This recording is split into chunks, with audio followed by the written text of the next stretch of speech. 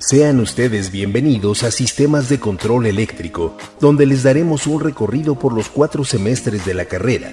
Podrán observar la evolución de las habilidades y competencias que adquieren nuestros alumnos durante su estancia. De igual forma, se mostrará cómo es que ponen en práctica todos los conocimientos obtenidos, integrándolos en proyectos con aplicación útil al concluir la carrera.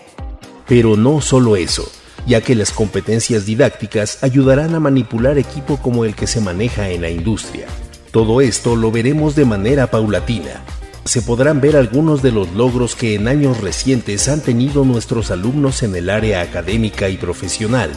así como el reconocimiento que han logrado dentro y fuera del Instituto Politécnico Nacional.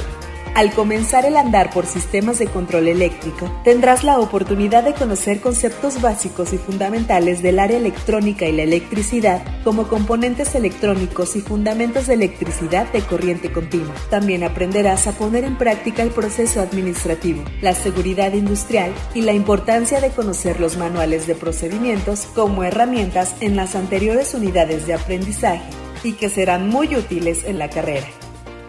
Aprenderás la importancia de saber cómo se comporta la electricidad y cómo la puedo utilizar en dispositivos que a la larga sean de utilidad en los proyectos de fin de semestre donde se muestra que se ha cumplido con los resultados de aprendizaje, así como la importancia que tienen los conocimientos adquiridos. Es por eso que no necesitas tener conceptos previos para poder estar en nuestra carrera, ya que estos, como te habrás dado cuenta, los aprenderás y aplicarás conforme se vaya cumpliendo cada etapa. Pero esto apenas es el inicio ya que en cuarto semestre continuaremos con el área eléctrica y electrónica, pero ahora con unidades de aprendizaje como Fundamentos de Electricidad, donde seguimos con el conocimiento del comportamiento, pero ahora en corriente alterna máquinas eléctricas de corriente continua y corriente alterna, en la cual no solo conocerás los tipos de máquinas que existen y que de manera no solo industrial se manejan como motores, generadores o transformadores, en los cuales se aprende desde sus fundamentos hasta saber cómo darles una aplicación útil. Las mismas máquinas las podemos manipular e incluso hasta construimos algunas de forma didáctica para reforzar los conocimientos adquiridos no solo en la carrera, sino también en las materias básicas y darse cuenta que han sido bien aprovechados. Circuitos lógicos, en la cual aprendemos y conocemos sobre electrónica digital, la cual nos aporta mayores conocimientos tomando en cuenta la etapa básica de la misma, aprendida el semestre anterior, donde de manera teórica y práctica se aprende cómo se comportan todos los componentes de la electrónica digital, y que esto nos aporta conocimientos para el siguiente semestre en la unidad de aprendizaje correspondiente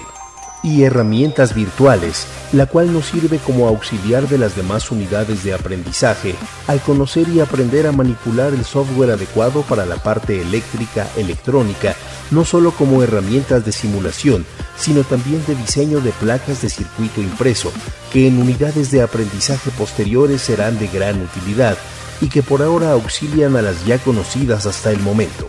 Y aún no es todo, ya que lo anterior solo fue el inicio para aprender cosas aún más interesantes y por ende hacer mejores proyectos, pues en quinto semestre tenemos las unidades de aprendizaje de instalaciones eléctricas residenciales, donde aprendemos no solo a realizar instalaciones como las que tenemos en casa, sino que aquí ponemos en práctica conocimientos del área eléctrica aprendidos anteriormente y con los cuales realizamos dichas instalaciones mediante el uso de cálculos para los conductores o cable que vamos a utilizar, los dispositivos clásicos que usamos y estos, cómo adaptarlos y conectarlos para tener una instalación más segura y confiable. A esto le podemos agregar que también la complementamos con conocimientos adquiridos en las otras unidades de aprendizaje para incluso modernizarlas. Control electromagnético de máquinas eléctricas de corriente alterna, donde las máquinas que se conocieron el semestre anterior, ahora adaptamos circuitos de control para que dichas máquinas puedan realizar diferentes funciones. Esto mediante el uso y conocimiento de diagramas eléctricos diseñados para esta área y con la simbología adecuada. Pero, ¿cómo lo hacemos?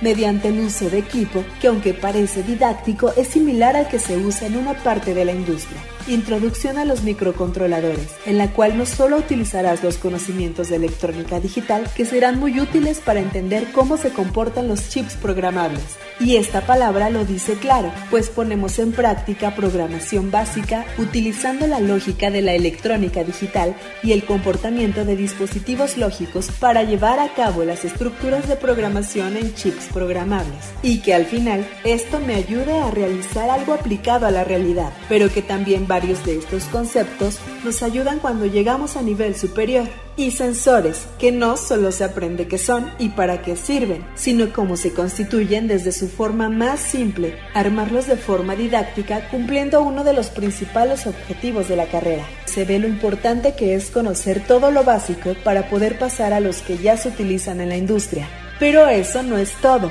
ya que como se ve, en cada unidad de aprendizaje se hacen trabajos específicos. Pero ¿qué pasa cuando las unimos? Pues fácil, resultan mejores proyectos que nos abren las puertas a que comencemos a unirnos al mundo de la automatización que aunque sea de forma básica, da pie a conocer lo que podemos llegar a hacer y lo que lograremos cuando lleguemos a sexto semestre, pero que podemos realizar desde instalaciones eléctricas automatizadas utilizando sensores comerciales, pequeños procesos donde podamos controlar las máquinas eléctricas por medio de microcontroladores y sensores. Pero no solo eso, sino que desde aquí puedes comenzar a hacer volar tu imaginación para realizar proyectos con aplicaciones útiles.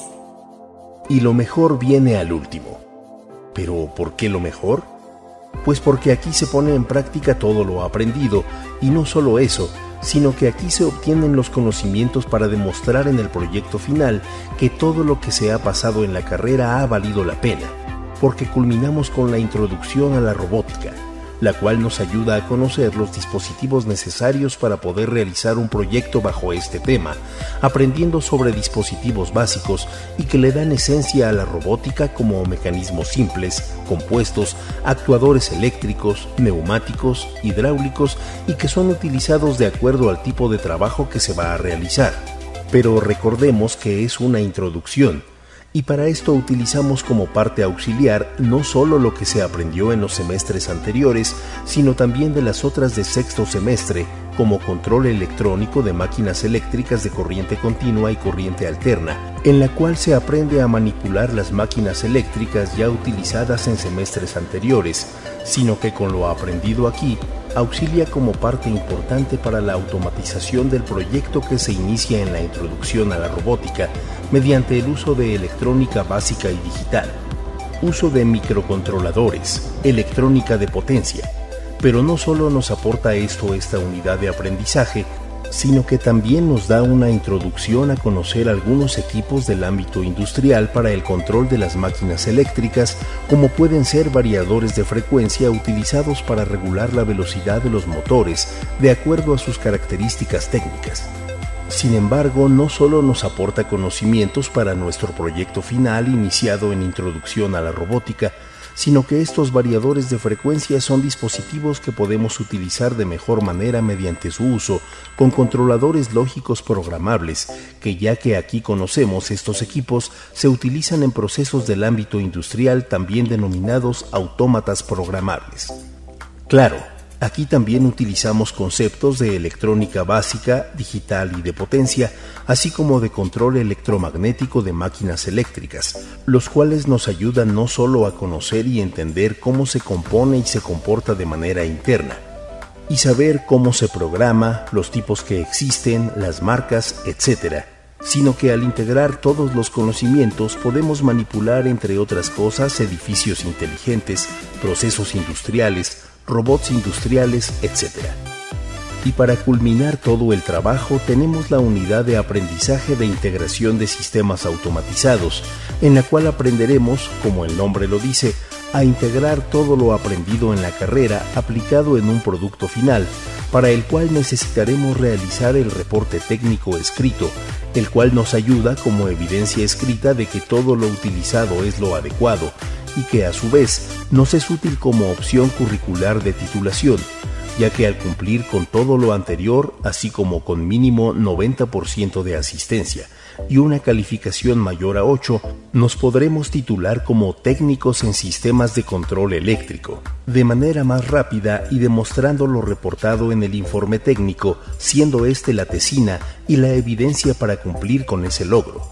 Claro, sin dejar de lado los trámites administrativos para poder concluir y poder recibir el título. De forma general y sintetizada, es lo que sistemas de control eléctrico ofrece. Y como nos podemos dar cuenta, es una carrera que evoluciona en todo momento, ya que no solo se cumple con los conceptos y conocimientos que nos marcan los programas de estudios, sino que vamos más allá. Cabe destacar que los maestros y alumnos son reconocidos no solo por el Instituto Politécnico Nacional, sino fuera del mismo también, pues contamos con la capacitación necesaria para ayudar a los alumnos a tener una buena preparación, no solo académica, sino también personal